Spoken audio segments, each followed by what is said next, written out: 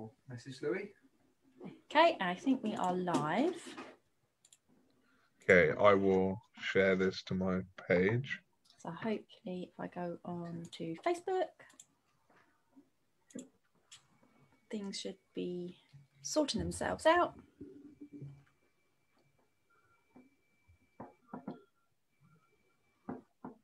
Okay, so here we go. Opening up. And doing the sits while we wait for people to turn up. And while people are cross posting and what have you. So, hello, people who are here already. Feel free to say hi and uh, where you are in the world. I'll do proper introductions and things when um, the room picks up a little bit, which it tends to. Hi, Simon.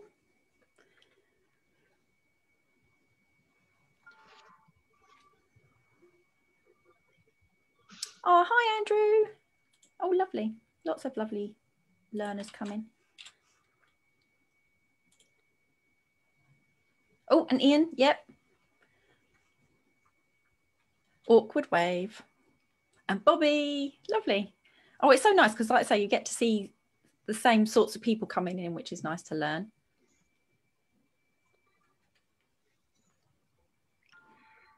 All right, let me just check that I've. Uh... Anybody who never typically says anything in the comment section, feel free, free to be brave and say hi, even if you never comment um, anything afterwards. Oh, yep, Andrew's in Sheffield. So we're just filling up. Like I say, I will do proper introductions in a minute.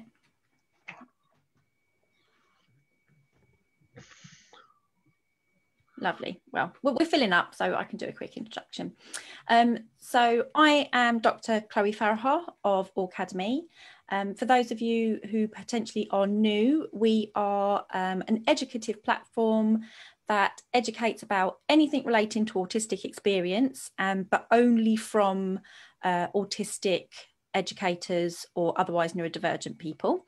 And when we say educators, we mean any autistic person with a topic um, that they feel they can explain to us, and that can be in any way. It could be a presentation, could be cartoon if you wanted to, if anyone's feeling um, particularly creative. Um, and today I am joined by David Gray Hammond, and I'm going to bring up my notes so I actually remember all the things you do because you are a very busy human being where are we? We've had David on before because um, he covers a number of topics, and we had him on before talking about autistics and uh, experiencing addiction.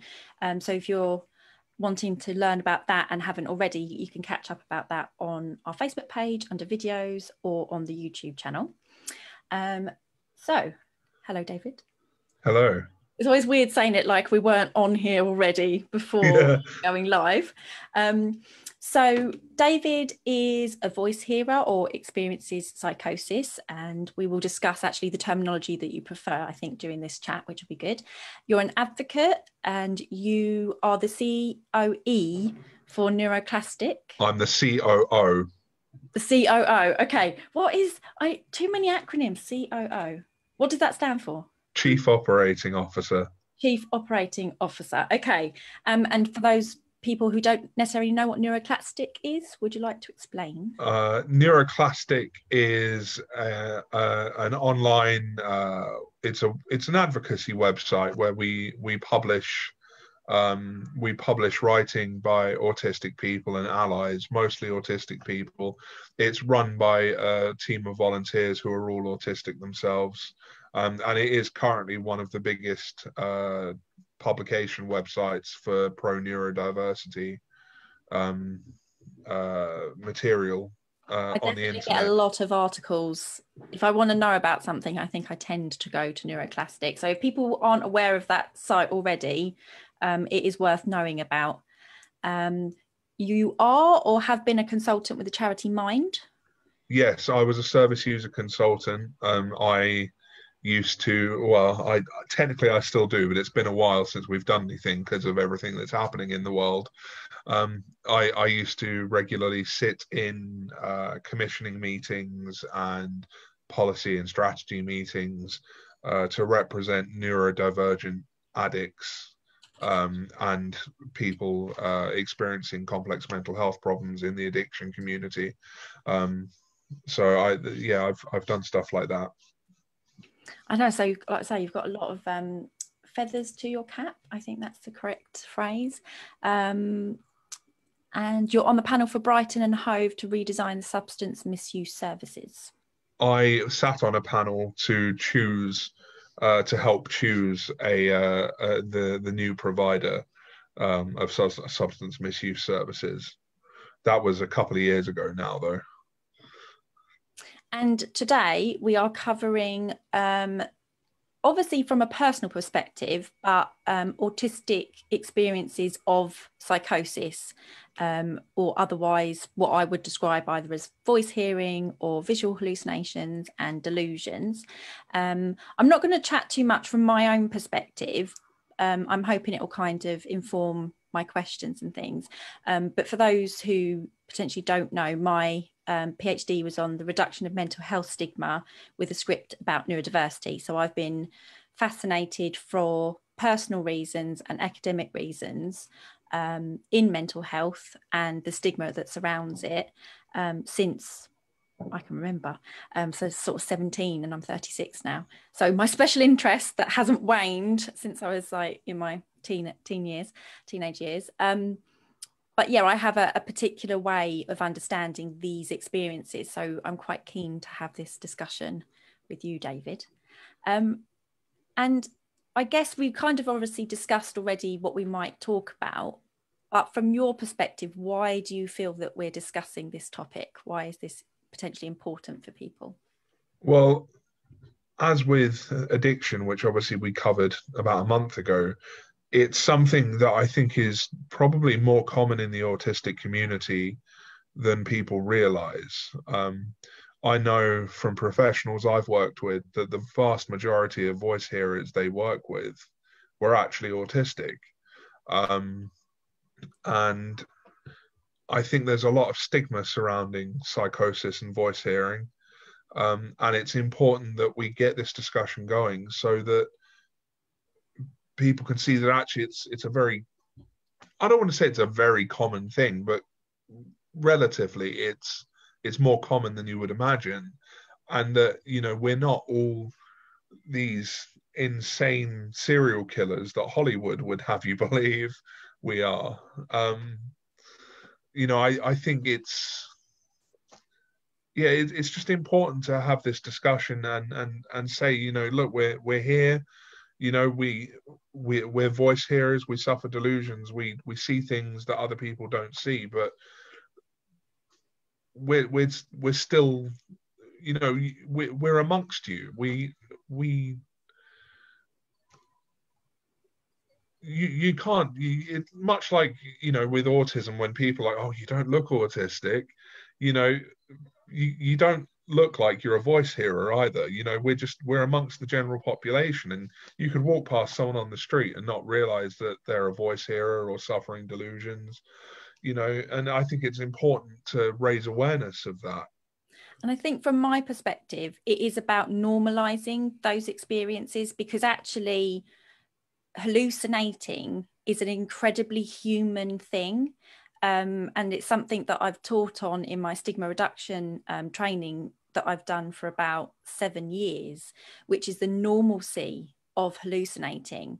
Um, and I like to, I, I typically ask people for examples of like if they can remember a time when they've hallucinated. And I usually say it could have been a fever as a child, or it could have been um, through stress or sleep deprivation or through drug taking. And I'm like, you don't have to tell me which, just hands up if you've ever hallucinated. Um, and, you know, a few people will put their hands up. And then I explain how easy it is to um, make somebody hallucinate. Because have you heard of those um, sensory deprivation chambers that they use yes. in a lot of studies? And any human being who hasn't or doesn't consider themselves to have ever experienced hallucinations or psychosis before will start hallucinating between 20 to 40 minutes later of being in these sensory deprivation chambers because our brain it needs stimulation. So if it's not there, it creates it for you, which is an interesting per you know reason for hallucinations and then i go that a little bit further and i then say to the um, attendees and what if i told you you're all hallucinating right now um, because we actually are hallucinating um, constantly because you have a uh, a blind spot that's literally in the center of your eye because of the way eyes have, have evolved. You have the um, uh, oh, too late in the day for my brain to work. But the part of the brain the part of the eye that goes into the brain doesn't have any receptors or anything. So there's literally a black dot constantly in the center of our vision but your brain hallucinates to fill in the gaps. So it's just trying to explain the normalcy normalcy of these things um, i think is quite important. Um, are we all right to jump in with kind of your first experiences or how you experience psychosis? Um, yeah, so my first experience, I was, I, I, well, depends where you want to start from. As a child, I used to experience what my mother and doctors called night terrors, um, where I would be awake, but I clearly wasn't in reality, I would be running around the house very distressed, seeing things that weren't there. And it was typically happening to me. I'd fall asleep, and within an hour or so of falling asleep, I would wake back up and be in this hallucinatory state. Um, but th- that started to pass a bit when I was a teenager. And then when I was about 18 and a half, um, I, a long term girlfriend of mine, uh, we broke up and within a few days of that i and i'd also moved out of my mother's house um, at the same time. And uh, within a few days of that i started hearing voices. Uh, i kept hearing people saying my name. And obviously i was i was very scared. Um, i only knew what you know what the popular oh no david you're frozen Oh no.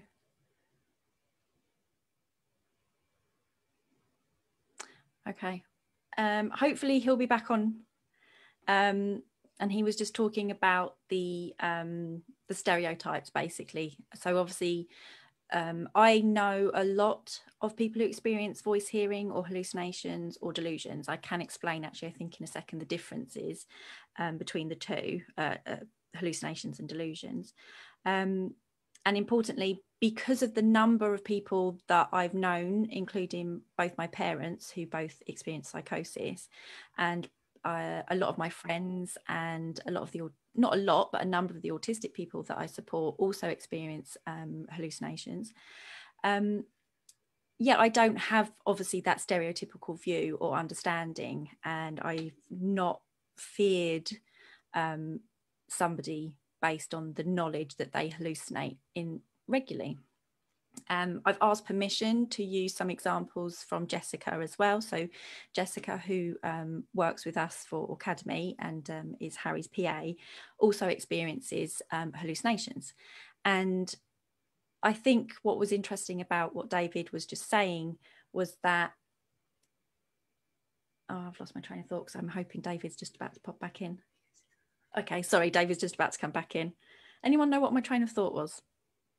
Oh, that David was saying, you know, you wouldn't know typically the, there's a large number of people, um, it's around 5.5% of the general population that experiences hallucinations on a semi regular basis. Um, and that would be a, a typically non clinical population as well, just people who, who experience hallucinations regularly and the difference being that they're not necessarily distressed by their hallucinations per se. Um, and so with Jessica, like say, who um, uh, works with us um, via Aucademy, um, in terms of her hallucinations, because of my understanding and my background, just going to let David back in, um, because of my understanding and my background, I have sat with Jessica as we're having a conversation, um, and she's looked um, above my head. Hi, David. I'm just finishing a, a, sentence and then we'll bring you back in again. Um, but yeah, Jessica was sort of staring at the top of my head, and I was like, oh no, have I got a bug on my head or something? And she was like, oh no, there's just a red balloon there. And um, I was kind of like, oh, okay.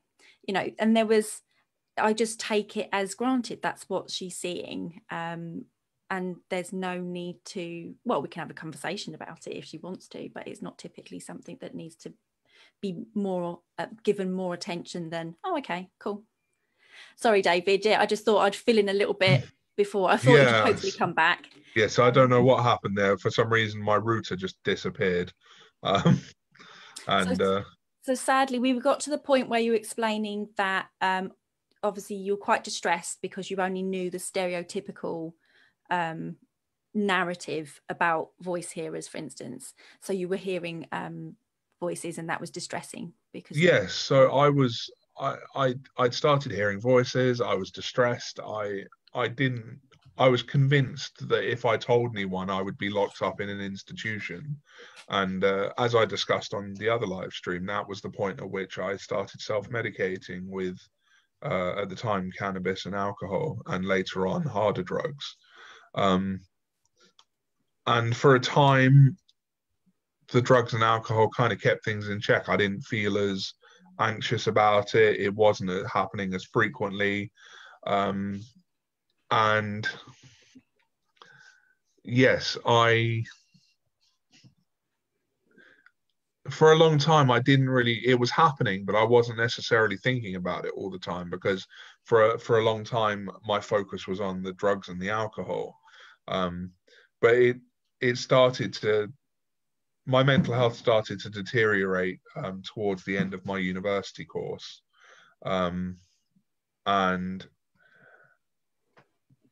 it was at that time that uh, a psychiatrist did start me on an antipsychotic at a low dose, although it wasn't particularly effective.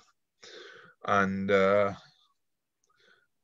when I moved back to Brighton from university, um, I saw more psychiatrists and uh, they tried various medications and stuff to no avail. Probably not helped by the fact that I was using a lot of illicit substances, um, including psychedelics, because I kind of figured in my head, well, if I'm going to have these weird experiences anyway, I may as well have control over when they're happening.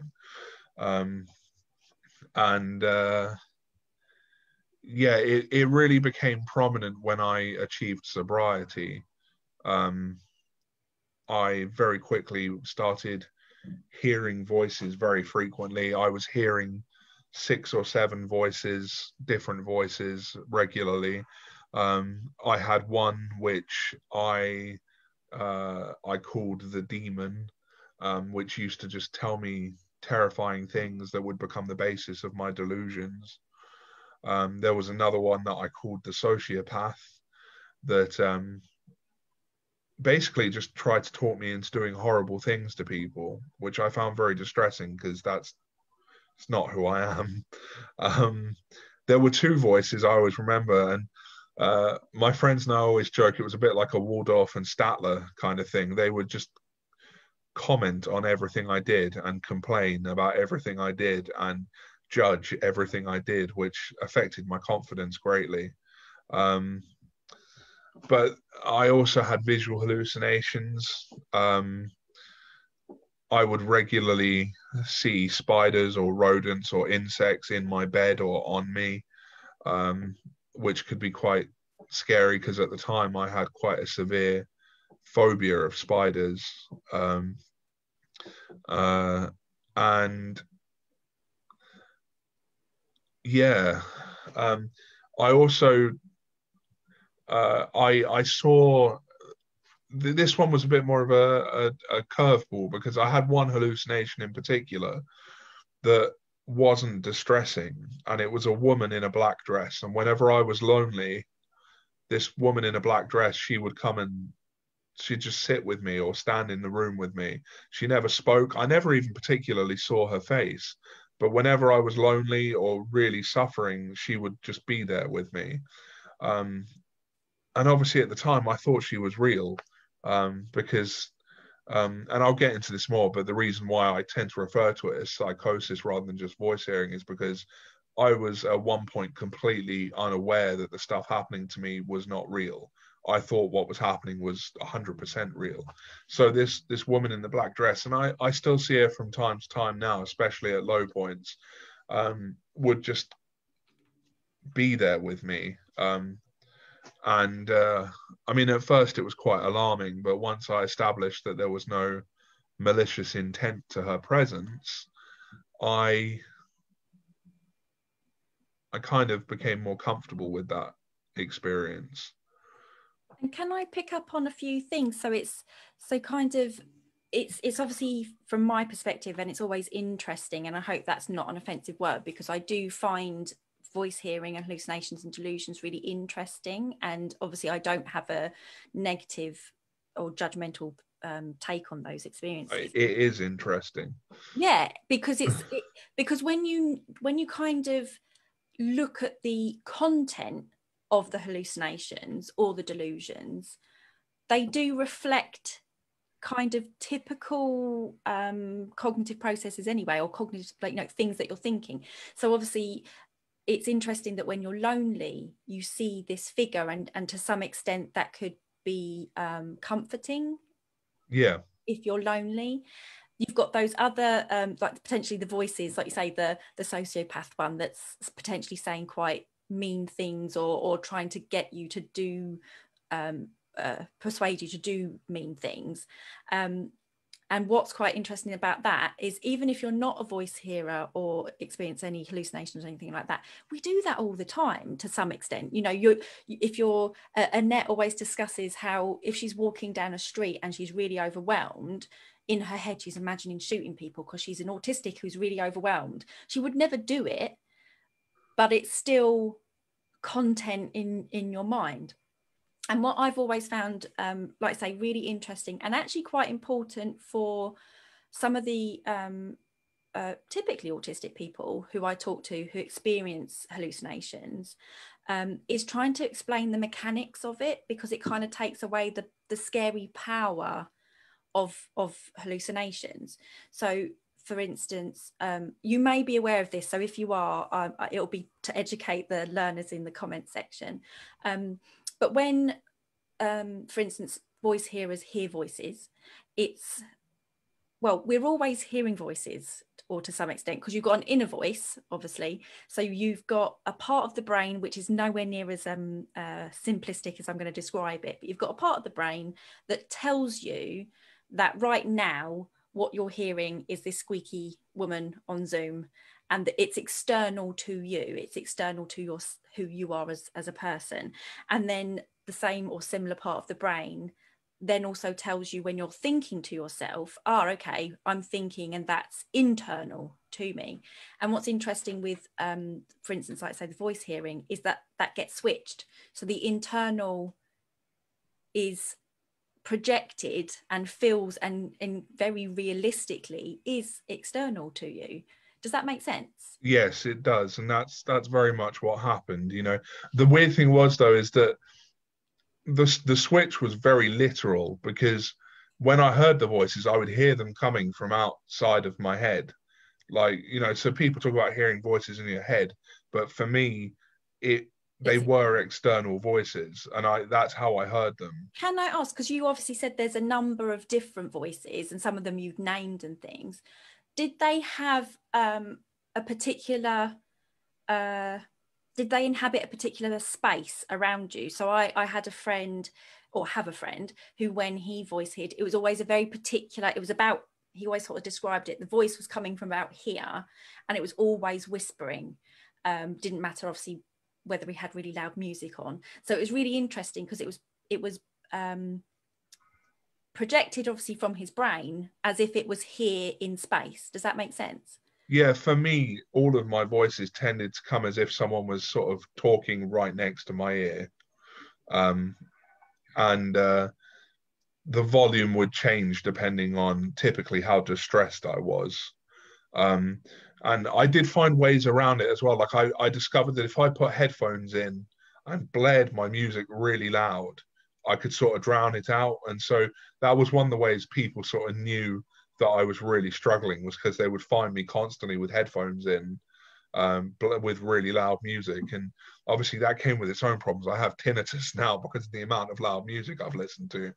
Um, but yeah, they they did occupy the, sort of this space around my head, um, and they would just come at me sort of like the the more distressing voices I would hear in both ears, um, the the the less distressing voices I might hear in one ear or another. Like, and it, I couldn't typically predict which ear I would hear it in. Um, but yeah, they definitely did occupy like a particular space. And I think that's really important for people to know and understand is that you genuinely, when you hallucinate, I don't mean you, I mean, you know, any you that um, experiences uh, voice hearing or, or hallucinations. Um, your brain is generally ma- genuinely sorry making that sensory experience so it's very real um, and and one of my favorite papers that i read as an undergrad was on how to support it was it was a qualitative um, study it was just asking people about their experiences of voice hearing or, or hallucinations visual hallucinations and things and um, it was kind of what came out of it was something lovely from one of the participants who was hallucinating snakes. And they said the best thing that their friend did when they said, There's snakes everywhere. Now, the friend obviously can't see the snakes they can't share in that reality and but to tell that hallucinator that there are no snakes is not necessarily that helpful because no.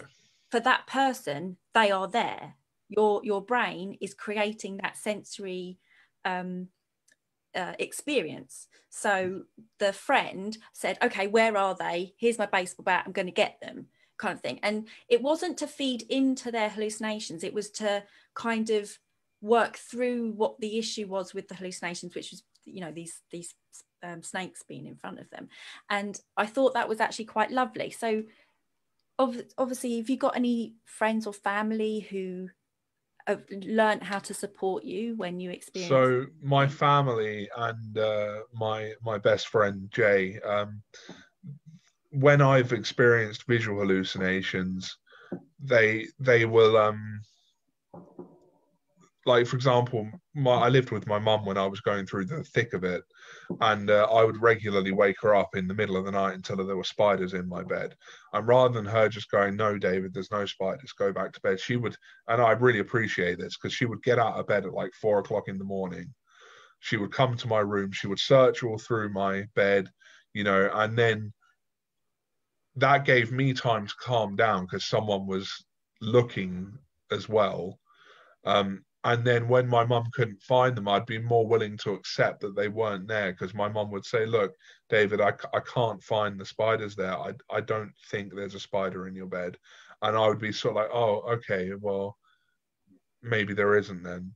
But it, it was at no point did anyone ever act like i was some kind of weirdo for having these experiences. To this day my friends and family you know if i if i'm having these experiences it's just a bit like okay cool. Um, what can we do to help? Do you need help? Um, you know, and uh, it, I because I found, and I think my mum learned this quite quickly, especially, especially when I was experiencing delusions. The more you try and fight it, the harder you cling on to it. Um, especially because I mean, I was suffering delusions. I I was convinced at one point that I was uh, trapped in a computer simulation and that someone was trying to delete me from existence. Uh, I thought I had microchips implanted in my skin that were broadcasting my thoughts. Um, I thought people were poisoning my food. Um, and, you know, I had a lot of persecutory delusions. And ra- rather than people saying, David, none of that's real, you know people learn to say okay well let's let's explore why why you're worried this is happening.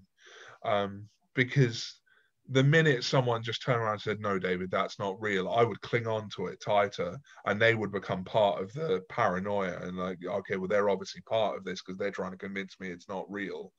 Um, you know and it, it, did get really complicated for a while because eventually got to a point where i thought my mother and sister were imposters who were pretending to be my mother and sister.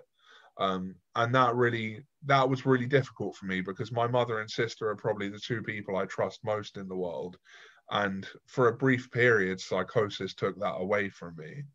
Um, but the people in my life have really learned to to not just immediately dismiss the things that my brain is coming up with. You know there's always a reason for it. And and if you were to give advice to somebody wanting to support somebody who experiences psychosis what would that be? So would it be to obviously I don't mean necessarily to go along with the delusions per se, but obviously not to fight them because that's really uh, not going to help the situation. So, what would be useful for you, for instance? Okay, so trying, I think rather than trying to dismiss the delusions, like don't do that because they're just going to cling on to them harder. And don't just go along with the delusions either because that that's problematic for why I'm sure you can see why that would be problematic. Um, but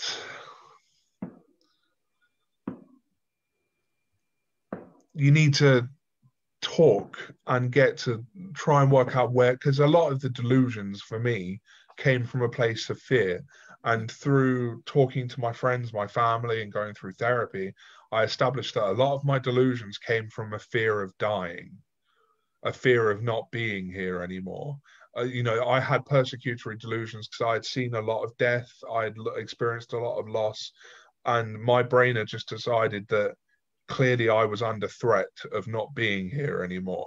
And my brain came up with a mutually combat- com- compatible reality with that fear, which is really where the fear that I was in a computer simulation about to be deleted came from. Um, and it was more helpful to have people talk to me and try and get to the bottom of that fear than it was to have them try and dismiss or go along with the delusions. And a lot of the older papers that I would have read as an undergrad used to make me angry because they would say things like the hallucinations or the things that people who, who are experiencing psychosis say are, they it's meaningless. And I would abs- I argued from a very early age that that's nonsense that you can definitely find the logic to the hallucinations and the, the delusions. Um, and I just want to pick up on because of the kind of is making me think about this as well is that you know arguably and this is my understanding anyway is that all um, anything that we can class as a mental health condition or issue um, is the result of trauma or traumas, even if we're not aware of what that might be. And and I've said before that trauma can be anything to anybody like nobody gets to dictate that and so you know living living in poverty and um, uh, experiencing racism and bullying, and obviously the, things that we would normally um, understand as trauma as well, you know, assaults and um, neglect and all sorts of things like that. And the human brain has this capacity to do things that doesn't necessarily look like it's um, beneficial, such as hallucinating. But I argue it's it's still a rather reasonable thing for a brain to do. Does that make sense? So yeah, it's a lot of the time, even if it doesn't necessarily seem like it, particularly when they're quite persecutory and distressing hallucinations or delusions, is there still to some extent your brain trying to protect you? Yeah. From further trauma. And so yeah. like, like you said, trying to get at what what is the crux of why am I having these experiences? Can help you, even if you still experience hallucinations um, and things like that. So I don't think it, it's particularly. I don't know how you feel. Like I don't feel like it's particularly um, beneficial to fight psychosis, if that makes sense. Like to just, I, I can imagine it's quite distressing, and then so potentially you would love to never experience psychosis again. But I don't know how you found that if that's been useful for you to to fight against it. Does that make sense? Um i mean in a sense i did fight against it because i i took medication and that medication has been really important to my well-being. Um, and you know yes it, it, has for the most part taken away those experiences. I i still do have those experiences especially during times of heightened stress. Um, and there's always a risk of full relapse because medication is imperfect. But I did use medication to fight against it, and this was prescription medication, not my yeah, self medication. I, I, I, just want to clarify. I don't necessarily mean not taking meds per se. I, I guess it's trying to work through it and understand. Well, this is what I this is what I was going to get onto okay. is um, on top of that though, and I think this is the important part. I have had extensive talking therapy with trained psychologists who specialize in my sorts of experiences. Um, and this is the point I was going to make is it's all very well fighting psychosis with medication, but I think it's vital that you also have that therapeutic experience, that talking uh, experience where you work through, and for most of us, I think it's working through trauma because I do believe my brain is wired differently, not just because I'm autistic, but I believe there is something in my brain that makes me more susceptible to these experiences. Um, but on top of that, it is a trauma response for me. I have I, I have been through a really extensive number of traumas in my life, not all related to each other either. Some people might say I've been exceptionally unlucky. I say some people, that's what my therapist said. Um, but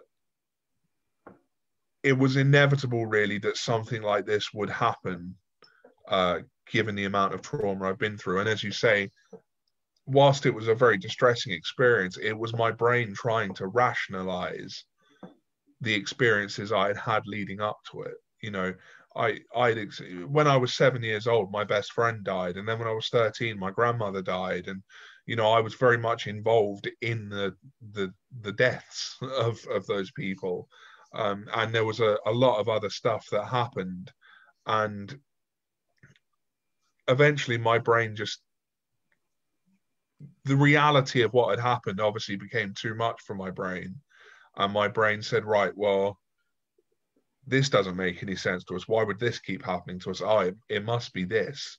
And came up with a like a protective reality that was easier to understand. And certainly my delusions for me anyway were much easier to rationalize to myself than all of the trauma i had been through and I think because I haven't made the point, which I probably should have done right at the beginning, is that for those who are watching, um, what the difference is between hallucinating and delusions. Um, and usually when I explain it, it's um, hallucinating would be, um, you know, seeing, smelling, potentially being able to touch or feel the queen. Um, and a delusion would be, I am the queen. So just to try and help people in the um, comment section to kind of differentiate between hallucinations and delusions. Um, and I, I know it was it's been quite helpful when i've given talks before when i've had people experience hallucinations in the audience to validate that so i had one person who actually experienced tactile hallucinations which are not as common as for instance voice hearing. So the you know feel of something. Um, sometimes it's insects and things like that. Um, but they'd been told by their own therapist that it was unlikely that that it would they didn't even explain that you oh you're hallucinating tactile sensations um, and so just allowing them to know that gave them the knowledge and armed them with the knowledge that what they were experiencing was real in the sense of their brain was genuinely making them feel something if that makes sense I've yeah. tangent.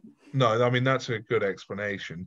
Um, another way I would explain delusions, and I wish I could remember that there was a, someone on social media made a video, and I, for the life of me, I can't remember what their name was, but they had this amazing way of explaining delusions, and it went. This is paraphrasing to quite an extent, but it, the gist of it was, um, the sky is blue. You've always seen the sky is blue but suddenly everyone around you is telling you no the sky is purple. But you're convinced the sky is blue because you look at the sky and it's blue. But everyone around you is telling you no the sky is purple. And and that's kind of what it's like to experience a delusion. It it everyone around you is saying that's not real. And but it is real to you. Everything about it is 100% real to you. And it it's just I I still my my brain still gets overwhelmed trying to work out how something like a, how my delusion seemed so real to me. Because okay i still experience paranoia related to those delusions to an extent especially when i'm under stress. But looking back like my entire reality was just completely replaced by something else that my my brain it was just my brain just it felt like one day my brain just went nope this is what we believe now. And and it it's it's a mind-blowing thing to recover from and look back and go how did that happen? Like, well i want to pick up on um because you obviously we, we we're always trying to relate this to being autistic as well. Um, and you have explained that you've had a, a much greater number of traumatic experiences um, than is even typical for people who've been through traumas or, or, something along those lines from your therapist isn't that correct um, yeah. and the fact that did you say that it's somebody you know another therapist or somebody who sees a lot of autistic people who also experience psychosis yeah so i had a care coordinator which um, for anyone who isn't familiar with secondary level mental health care in the uk care coordinators are typically a psychiatric nurse who is assigned to you to ensure that you have appropriate access to your psychiatrist, to therapy, um, that your living situation is suitable, and basically they, they literally coordinate your care. Um, and my care coordinator once said to me, I, I said, you know, I, I was I was feeling like no one else was having this experience of being autistic and psychosis. Um, and she said, actually, David, the vast majority of people I support who are voice hearers who experience psychosis are also autistic. She said it's a very common thing amongst autistic people in her experience. And I would certainly argue, given that we've got you know research um, that demonstrates autistic people are much more likely to be victims of abuse and trauma compared to um, non-autistic populations. I'll, I'll, try and remember the um, reference when I find it. I know I know um, Simon Baron Cohen's one of the co-authors.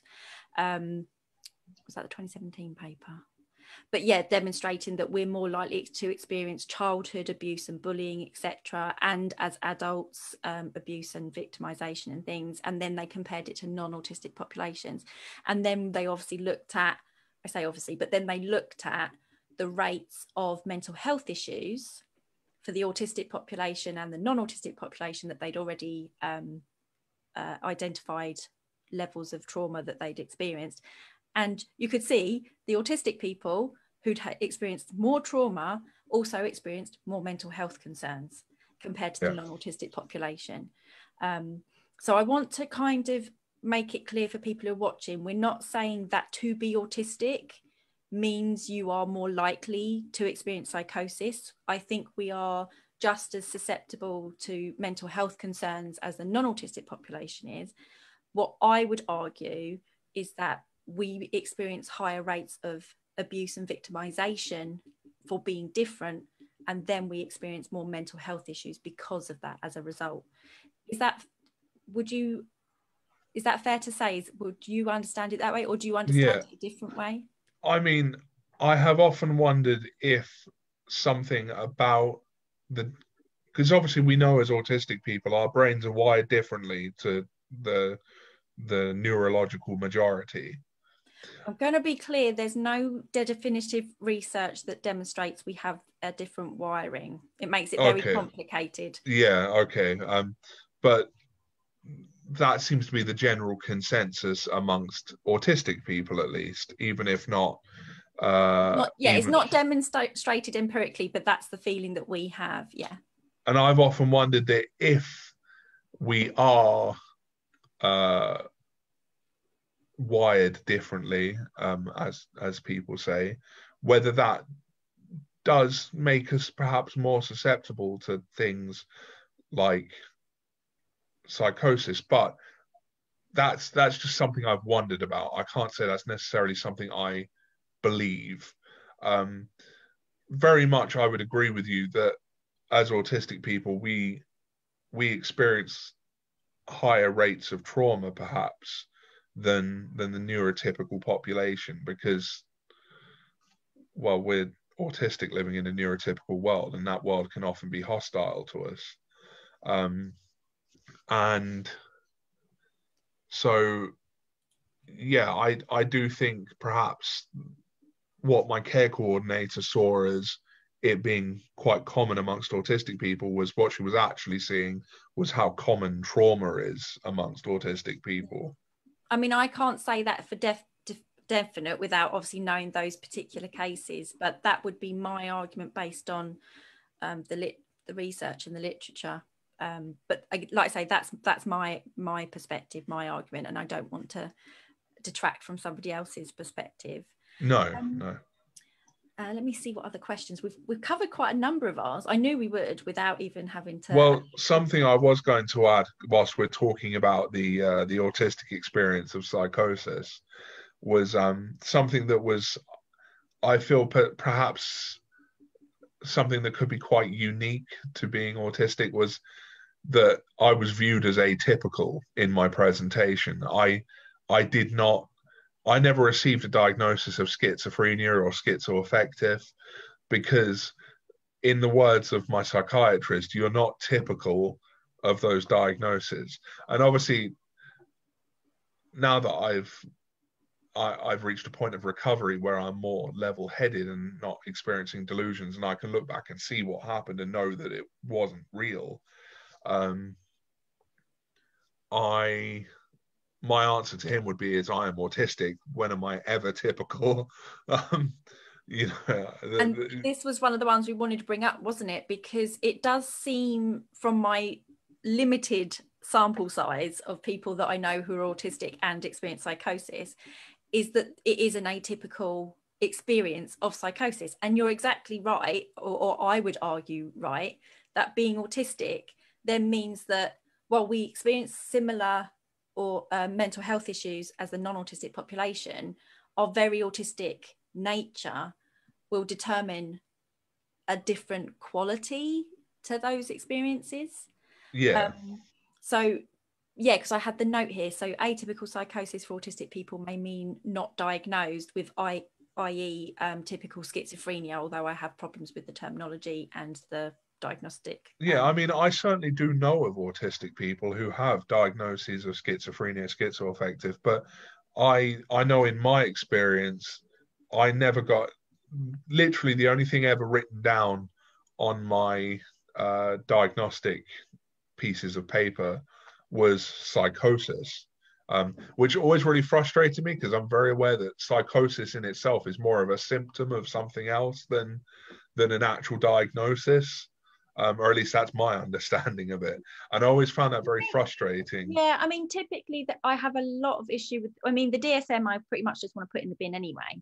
Um, yeah. I'd much rather discuss and describe somebody's experiences than a so-called diagnosis. So that's why me personally, I refer to um, the voice hearing community.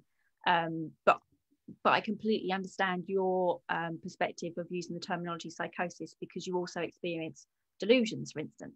Yeah. Um, and things like that. So I, I just feel like it's trying to take back the language for the people that experience those things. Yeah, I mean, one of the the most difficult parts about not having the diagnosis for me was that like I would try and explain to people my experiences and they'd go, Oh, so you have schizophrenia? And I'd go, Well, no. And they'd go, but you just described schizophrenia. I'm like, yeah, but it, it wasn't typical. And it, it just, it, it would really have been helpful just to have had a word that everyone could understand. You know, like when I say I'm autistic, a lot of people these days go, oh, okay, yeah, autistic. I get it, yeah. I, I have some understanding of what that word means. But when you say psychosis, people know the word schizophrenia. I, I, I was amazed the number of people who had never heard the word psychosis. Um, yeah or the ones who had heard it had heard specifically the word psychotic, which I do use sometimes when I'm to, when I talk about when I was psychotic, because I tend to use person sorry identity first language. It's just it's a reflex for me.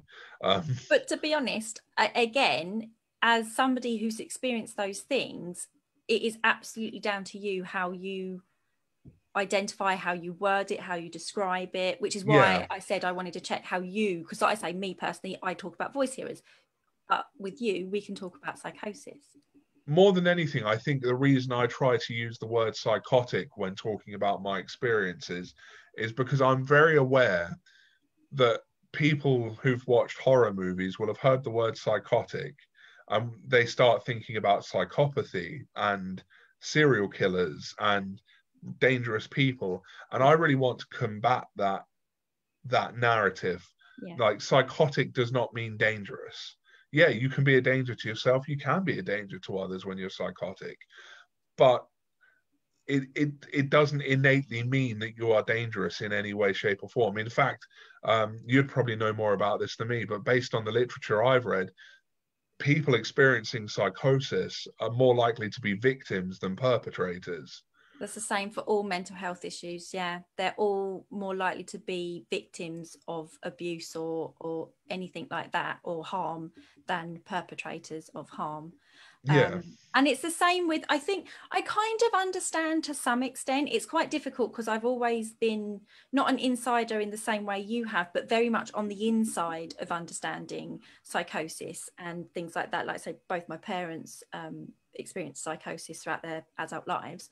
Um, so I've, you know, one of my earliest memories is visiting my parents on a psychiatric ward, and I was quite quite small. Um, so it's the norm for me, and I've lost my train of thought. You said something, and it was important. Uh, I think I was talking about the fact that psychotic doesn't necessarily mean dangerous. Thank you. Yes. And because people do have that stereotype, and basically, um, so fundamentally, what my research and what um, the stigma uh, literature explains is the best way to reduce stigma and prejudice and stereotypes is to just meet more and more of those people that you're scared of, basically. Um, and the more, obviously, I've met of, of um, the more autistic or people that I've met who experience psychosis over the years, you just see the variability. You see that there's no harm um call you know there's no threat to you.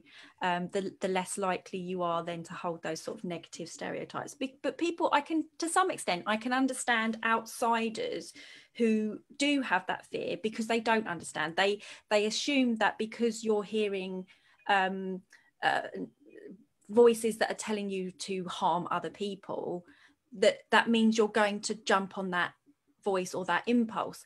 But it's the same as if you weren't voice hearing or hallucinating. Like i said we hear those sorts of voices all the time when you really are fed up with somebody or i'm sure there's lots of people on here potentially that have imagined i don't know whacking their husband over the head with a frying pan when he's not done the washing up again the way that they wanted. This is not in any way um, related to my relationship but do you see what I mean? So we all have those sorts of thoughts and impulses, but we don't do anything with them. And I think it's fair to say that the majority of people who do experience psychosis, hallucinating, and delusions, they still have they're still human beings who get to decide whether they follow those voices or impulses. Does that make yeah. sense? Yeah. Yeah. I mean, I've come to understand, especially with the voice that used to tell me to do horrible things to people, because I ha- I actually have a diagnosis of obsessive compulsive disorder, and I've realised that some of the voices I heard, especially, were almost like a literal manifestation of the intrusive thoughts of my obsessive compulsive disorder. Um, you know, I, I this is something I found is that um, my psychosis took a lot of different parts of my brain and brought it all together in one overall experience. Um, so you know, when when I had a a voice in my head saying, "Oh, you know," and yeah, I had voices that were like, "Yeah, you should go stab that person," and I found that really, really distressing because I'm definitely not going to do that. But then I'm like, well, why? Why is that happening? Like, you know, and it, it, was something I'd already struggled with because of obsessive compulsive disorder. So I, I it, it was it's a really difficult experience to explain when you have those sorts of in, intrusive experiences um, because so many people when they hear about them they assume it's because you want to do that I, I do not want to do no. that. I have no interest in doing that. It doesn't help that I have a degree in forensics and part of my life has been making jokes about murdering people um, because I have a very dark sense of humor. And, yeah, um, but, you know, it, I have experienced a lot of stigma, especially around the voice hearing. You know, people really think that I might be dangerous because I'm a voice hearer. And I, I found that really upsetting. And I guess really that's that's why I that's why I wanted to do this live stream today, is because I want people to see that, yeah, I'm a voice hearer, but I'm not dangerous. like, you know, I'm not going to harm you. I, if anything, people are going to harm me, and that was my general belief, even through the psychosis. You know, um, and I just think it's it's especially for autistic people who are already treated not very well, and that's me putting it very lightly. You know, as we said, we are already as autistic people victimized at a higher rate. So then, if you're an autistic person who experiences delusions, voice hearing, visual hallucinations, that stigma is then I don't I couldn't even imagine how much whether it's doubled, tripled, quadrupled, yeah. but it, it it just it all adds up and it it then becomes more trauma, which can then feed more mental health concerns. And this is the issue as well. And again, one of the main reasons. So, initially, when I started um, my undergraduate degree when I was 26 in psychology, I thought I wanted to go into clinical psychology. And then and, and, if anyone shameless plug if anyone buys the neurodiversity reader my chapter in there um, details a number of things but it also includes how i went into psychology having been reading whatever I could because I didn't do very well at school. I just went to libraries um, when I quit school because I still wanted to learn, but school wasn't the place for me. Um, I was reading anything I could. Went into psychology thinking I wanted to do clinical psychology because I wanted to work out why my mum and dad were mentally ill in quotation marks and to figure out if there's something I could do to cure them, in quotation marks again, of their psychosis, of their voice hearing, and so on and so forth. And what I realized as I started doing my own research and doing my undergrad and all that kind of thing is that it's bigger than the individual struggling, it's the stigma. It's looking at the research, the stigma is the thing that makes a person's um, prognosis or a person's um, life and well-being worse than the psychosis itself, for instance. So you're yeah, you're absolutely right. It's like a double-edged sword. You end up with the stigma from being autistic and the stigma from experiencing um, psychosis as well. Um, which is why we talk about these things so we can stamp on it. Yeah, and I think it's really interesting you mentioned the whole curing it kind of thing because this is something I've gone back and forth on for years. The the full on experience of a psychotic episode and i don't just mean like a bit of voice hearing or a little bit of paranoia. I mean when i was deep in the thick of it and i was fully delusional and and seeing and hearing things regularly that weren't there i was very distressed. And yeah i take medication to to control those symptoms because i can't i hate using the word functioning but i can't function without the medication because it is just too overwhelming an experience. Um, but I'm not convinced I would ever want it to completely go away because, for example, uh, as I said to you when we, you know, had this chat before the live stream, um, I no longer have a fear of spiders because I hallucinated spiders so regularly that it's just it's just like eh, it's a spider, you know. It the, I have the I've taken things from the experience of psychosis and they have been positive. And it also is part of what makes me me the fact that I have these experiences. Without these experiences, I would be a different person. And actually, I quite like the person I am now. And so I'm not convinced I would ever want it completely cured because it would it would be like cutting an arm off. You know, it's a part of me and I you know, good or bad, it it makes me who I am. And and I guess um in terms of this, because my because of my personal understanding of mental health in general, um, not just psychosis, um, but psychosis or voice hearing things is is my particular interest and personal reasons and, and all that kind of stuff like I mentioned. Um, I guess it's because I still don't see it as pathology per se. Um, and but then at the same time, I understand an individual needing or or um, feeling some relief if they take medication. That that's not that's not my remit. I'm not uh, about um, uh, medication shaming or anything like that. So when I say that I had, yeah, I had the issue with the curing something, it was this idea that there's something broken or wrong in your brain. And there's, I would argue, there's not. It's your brain has tried to do its best to protect you. And that the best thing then, um, I would argue, is that to work on what was the trauma or traumas. And then that if we cannot think of it as cure, but that might be something that helps either reduce the quantity or the quality of the psychotic experiences, for instance, I would see that as a positive thing without having to focus on a cure because your brain's broken. Does that, yeah? It does make sense. I mean, I, as I said, I'm certain that it wasn't medication alone that got me to this place where I can talk about it. I had to have extensive talking therapy to really get into the traumas that led to it and, and work through those. And to an extent, yeah, I'm still working through those. And perhaps as I work through them, my experiences will change again. But I, th- I, th- I think I agree with you. I, I don't necessarily see it as a pathology. I don't think it's. I mean, obviously, I know there is some research out there that says certain types of traumatic brain injuries can cause psychotic phenomenon. Um, and then that's a different motivation or or cause, as you yeah like. Yeah, I but, always have the example of you can have two people who don't hug. One's autistic and one's not autistic, and they look like the same thing, but actually the motivations are different.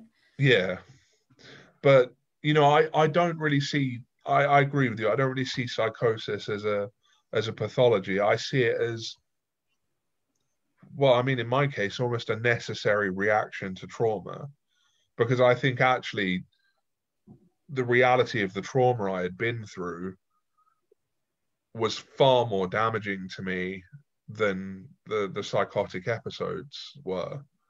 Um, and I think that's why I think that's why my brain came up with that stuff because it was so much easier to rationalize. You know, if if the world wasn't a random place where traumas could just happen random, you know, like with without warning, you know, it was much it was much easier to think, oh, there's something working against me here. You know, that's why this is happening because something is making these things happen rather than oh, you know, the world is a chaotic and random place where terrible things can happen. Yeah. And, and, I guess my argument would be that um, if we want to talk about curing mental health issues of any description, it would be to cure the disordered society. So, disordered people, like, say, living in poverty or experiencing extreme abuse and all this kind of thing.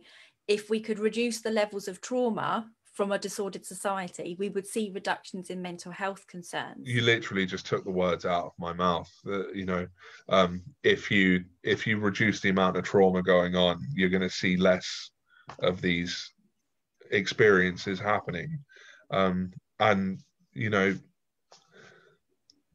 that that is what we need to work on as a society. It's it's all it's all very well, you know, people looking for cures to these what they believe to be pathological states.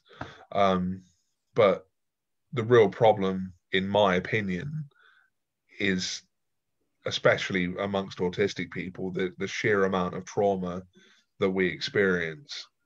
Um, you know, I, I, I know a lot of autistic people, and they've all had at least one traumatic experience. You know, and and because trauma is different for everyone. You know, it, it can be it, it could be going off to war. It could be being bullied at school. It's it's relative to the person. You know, there, there's there's no one thing that can say, oh, this trauma is worse than that trauma.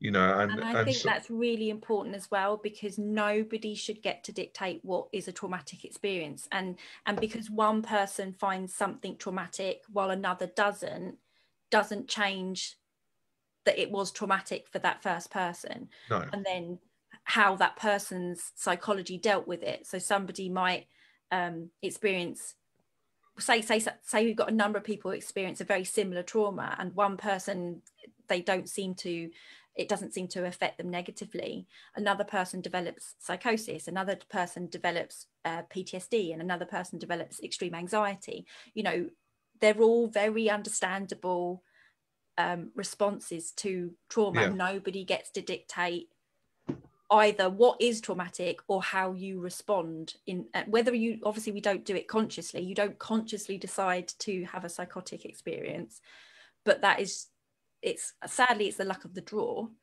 But absolutely if we can reduce levels of trauma which would be great for everybody involved. Um, I don't want to hold us up too much longer, and I've got a feeling my Chinese is coming. It's always this time of the night. Um, I just want to pick up on. I haven't been looking in the comment section at all because I knew I would love this conversation anyway, and we love talking to you, David. Um, Harry and I have really enjoyed you, you, the way that you explain and express yourself is is just great um, for us to have these conversations. Um, we just want to double check if there was any really burning questions in the comment section. Can you just post them now. Um, otherwise, um, I think we'll wrap up quite soon. Um, but did you have any other things that you might wanted to get off your chest before anyone puts anything in the comment section? Um, no, not really. Um, I, th- I think we've we've covered a lot of it really tonight. I could talk about this forever, though. To be fair, yeah, I probably could as well, especially if you start getting into the intersection with my addiction and the way it all links together. Like you know, it's uh, it's like that meme of you know that meme of the guy trying to explain everything and he's got the cotton everywhere and the wool all over the wall like connecting things together. I, I, get a bit like that once i start um, really getting into the intersections between all these things. And that's why i made my page emergent divergence is because it gives me a space to try and get into those intersections and, and nice plug. it thank you actually. So for those who um, so usually when people jump into the live you don't see the description for some reason. Um, but the description has um, all of well the, the most useful um, social media links for David, and I think there might be um, potentially blog posts in those links as well. Um, if anybody um, is able to donate a pound, um, they are most welcome to do that as well. So there's a link in the description for you to be able to do that so we can pay our speakers. Um, I'm just having a quick look. But yes, emergent divergent. So if you want to hear about the intersectionality of these things, so psychosis, for instance, and addiction, um, head to David's emergent divergent page. You've also, is it a blog as well, or is it a Facebook? I do have a WordPress blog under the same the same name, emergent, di- sorry, emergent divergence uh, dot wordpress dot com. Lovely, thank you. I'm just going to pick up on a couple of things. We won't, I won't take too many because, um, again, dinner, um, and it's quite late for for um, David and I. Um, somebody just asked when hallucinating, what happens if you touch the person? So I assume they mean if you're hallucinating and someone were to touch you.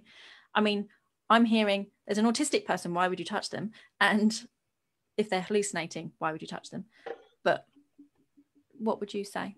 I mean, it, it depends. I mean, if they're talking about what happens if you try and touch your hallucinations, then that can be that can be different for depending on the person and and the experience.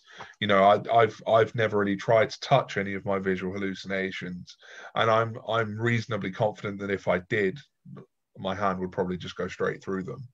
Um, as for touching someone who is hallucinating, it's probably not a good idea because especially if they're in a distressed state, suddenly touching someone could be really alarming.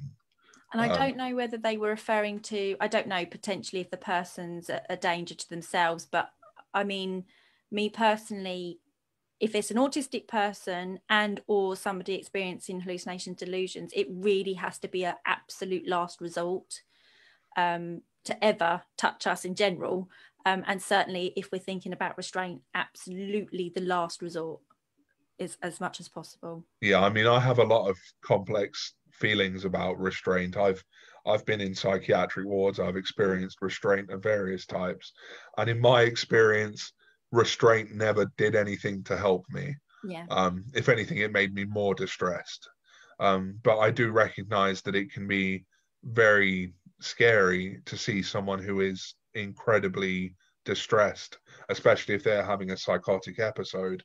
You know, you might wonder, well, how do I stop this person from hurting themselves or someone else? And my advice really would be if someone is really distressed and experiencing a psychotic episode, um, I wouldn't necessarily suggest calling the police um, because you know it's another conversation to have. But for me, they were never particularly well versed on how to deal with someone like me. Um, but what I did find helpful on a couple of occasions was paramedics. Um, and they, you know, they had medications which could calm me. Um, they they were generally a bit better versed in mental health than than other emergency services were. So if someone is really in a high state of distress and you're worried that they're imminently going to hurt themselves or someone else, um, call an ambulance would be yeah. my advice. And I, I, would argue that's that would be my advice. That's typically what I've done in the past with my mum, which is a ambulance over police. Sometimes we've needed the police just to be able to get access the building, but typically um, ambulance would be the preferred for us if, if we're absolutely um, you know there's no other way that I could get her for instance to a crisis team or something along those lines. Um, I, I just going to see if there's any others. Somebody's just asking if their three psychosis episodes are psychosis. Um, I'm going to be clear that I'm not a diagnostician or a clinician. Um, so I'm not going to necessarily be able to answer that question at all. Um, any thoughts on what constitutes psychosis? I, I mean, for me, the the quintessential part of having a psychotic episode is the fact that I didn't believe I was having a psychotic episode. I thought everything that was happening was real. I thought it was 100% real. If anyone tried to tell me it wasn't real, I would cling onto it harder and believe it was even more real. And really, that was the key difference for me between, you know, having just a hallucinatory experience and having a full blown psychotic episode was that I 100% believed that everything that I was seeing, hearing, thinking was real. And I think because the person's asking if their three psychosis episodes are psychosis, obviously you've given an example of of how you would define psychosis itself. But I don't know if they're asking in terms of like potentially going and getting a diagnosis, um, because you know, is it dependent on what you would want that for? I would say, is it not enough to say you've experienced psychosis? Potentially for that person. I think if it's enough to cause someone distress, then they should absolutely seek support for that um, in whatever way they feel comfortable seeking support for that. But as I know myself, having having a diagnosis doesn't necessarily change anything. Um, it makes it easier to explain to people what's going on for you, but having the diagnosis itself doesn't. Yeah like you're still having that experience whether you have the it's the same as that whole you know the the discussion around self-diagnosis is in, in autism you know a person is just as autistic before their diagnosis as they are afterwards. Same as someone experiencing psychosis experiences the same amount of psychosis before as they do afterwards you know. Obviously they might be prescribed medication that would help them and that can be useful if you're experiencing high levels of distress. Um, but ultimately you've got to you've got to really think about what's what's right for you as a as an individual. And I, I would always advise someone who is experiencing distressing psychotic phenomenon i would always say go talk to your doctor. Um, but don't expect the diagnosis to really it's not going to make the experience go away having that diagnosis. Um, i'm just going to grab a couple more I don't want to linger on this one too long. I think um, a yes or no. But do you think your best friend being autistic is an accident? Uh, no, I think we we found each other quite it, it was not an accident. No. we, we, tend to, even if we don't know the other person's autistic, or if that other person doesn't know they're autistic, we tend to gravitate towards each other. Um, Simon, I'm not sure what you're asking. He's put what's AM, capital AM, so I'm not sure where what he's referring to there. Um, somebody else said you rock, DGH. Thank you for that. Um, just lots of lovely things. So you're an amazingly wonderful human being. I concur. This is, yeah. Um, is there any more questions? Let's have a look. Uh, oh, I mean, if you touch the person who's not there, does it feel real? Oh, okay. So they've clarified. Okay. Well, yeah, that would depend on the person and the way the experience is happening. You can have like tactile hallucinations. I've had hallucinations where I can feel things on my skin, but it they don't always all come together. So you might sometimes hallucinate like you might see a person like my woman in the black dress like i said i'm fairly confident if i reached out and tried to touch her i wouldn't feel anything but then on another day i could reach out and touch her and perhaps i would feel something you know it, it is uh it's a bit random you know you can't really predict and, and that's, the, that's what fascinates me about it is because any of your senses can um uh hallucinate a reality. And so that could be multiple senses. It might be somebody only ever experiences voice hearing for instance um, which yeah. seems to be the most typical um, uh, of the hallucinations. The interesting one for me is i tend to hallucinate the smell of lilies on my grandmother's birthday and lilies were her favorite flower so you know you, any sense can and jessica um, hallucinates lavender and sees cats quite regularly. So some of hers are quite, you know, quite nice, just yeah. seeing a cat kind of thing. Um, let's have a look. Going by what? Oh, so that's something. Um, oh, there's lots of really lovely comments. So at any point, if you want to obviously go back into the comments and just see what people have said, just to see the loveliness. Um, oh yes, so Donna is saying the paramedics were amazing with her dad too. Yeah, I, I do think typically they are the best um, bet if you are concerned about somebody in distress. Um, how open should you be with the doctors? Um, I was always scared of being locked up, and I, I, know you're going to be able to answer this particular question, but I've known that that concern for a number of um, people experiencing psych- psychotic episodes is the concern that they're just going to be seen as as crazy and locked up. Um, I would argue that's um, really not that typical that that's going to happen. Um, but I don't know if, how you would address that question.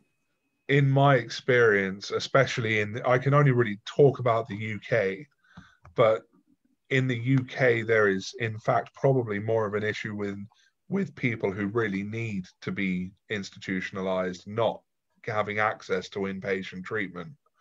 Um, so I think it's more likely that you wouldn't be locked up. Um, and I, I, don't like the phrase locked up because don't get me wrong, the psychiatric wards I've been on, they did feel like prisons. But I really don't like the term locked up because it kind of implies that you've committed some kind of crime and, and you haven't. You know, you're just, you're not well and you just yeah. need help. Um, but I, I think you should always be open and honest about these experiences. And even if a doctor does decide to put you into inpatient treatment. There are ways to contest that if you feel it's not fair or or you know unsuitable there are ways to contest that you know there are tribunals and and depending on how concerned they are for you there's different types of um, section and act. So um, some of it might be is it 72 hours? Just checking for 72 yeah. hours how you're doing and then they make a decision about whether you need to stay or not. So there's lots of things that go into these decisions. And i absolutely agree with you is that like i say because my earliest i'm 36 like i said and my earliest memory is probably me around three or four visiting my parents on a ward um, all i've seen is declines and decline and decline in um, inpatient services so there was a period in my life where I literally could walk my mum onto a ward and say, please take her, she's in such distress. And they would take her and admit her. And then a few years later, um, it was almost impossible to get anybody to admit her to anywhere. And when they finally, I think I waited for around. It was disgusting. I wait. I got the ambulance out. We we sat in the A and E for eight hours with my mum, who, like I say, I believe she's autistic, but she was misdiagnosed with bipolar um, and experiences psychotic episodes. Um, so eight hours in an A&E for somebody who's in an incredibly distressed state is disgusting and it's not our NHS fault obviously it's the government as an issue. We're not going to get political here. But by the time she was finally seen um, it was like 10 o'clock at night or something and um, the only bed they had was uh, up north. So I live in the southeast and the only bed they had was absolutely 100 like miles away. Um, so typically what i see with crisis teams now um, unless they really are very very concerned about you is trying to keep you in the community. They um, normally have home treatment teams. Yeah. So to try and allay that fear i guess that um that's you know if you do explain to your doctor that you're experiencing these things that they're going to lock you up kind of thing. That was that was the person's concern wasn't it? Um where are we? I've lost it. Yeah about saying that they're scared that they might be locked up but i i really don't think that's really the last resort i would say. Um okay. Let's have a look. Um,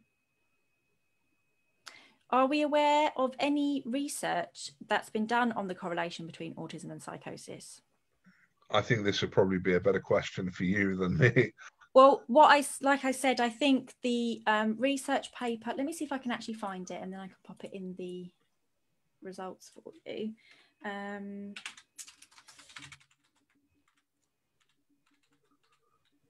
it's it's really about all the different types of mental health issues we will experience as a result of um, trauma. So let me find the paper because that would be good, I think, for a number of people here. Let's have a look. Here it is. Lovely. Okay. I mean, not lovely. It's not great um, findings. The findings are quite distressing. But okay, so I'm just popping that paper in the. Oh, it's 2019. That paper, the Griffiths paper. Um, in the Aucademy chat so people can have a look at that but basically like i said um, earlier on is yes there's a um, you see that we have as autistic people greater experiences of trauma as children and adults and then what you then see is an increase in the numbers of mental health experiences we experience compared to non-autistic people which will include um, for instance psychosis and other mental health concerns um, but I'm not sure that there's been a specific one. Um, I can look into that at some point. Um, okay, don't want to take up any too much more of your time, so I'm just going to make sure there's not anything really dire that needed to be answered. Um, yeah, I think that was everybody. So that thank you so much everybody for attending. I didn't look at half the comments. I'm sure I saw some of our regulars being silly as usual, but then they always come towards the end with really lovely questions and comments. So um, I'm always pleased by that point. Um, thank you so much, David. Um, like I say, I could definitely talk to you about this another point. it's been a pleasure. So. so if you just stay there, I'll end the live. Okay, so thank you everybody, and I Thanks. will. Well, we will see you next Saturday. Oh, we've got a double next week.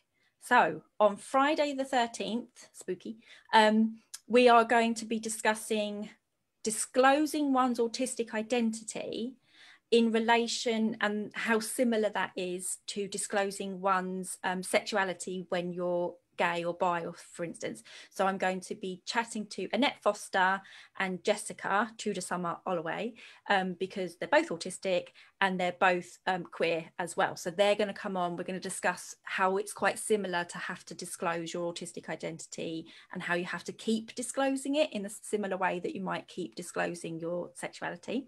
And then on the Saturday, the 14th, We've got Carl Cameron coming on, who wrote a chapter in the Neurodiversity Reader, and but his chapter was specifically on disclosing one's autistic identity and potentially we can discuss how to and some of the pitfalls and some of the um, benefits of doing that as well.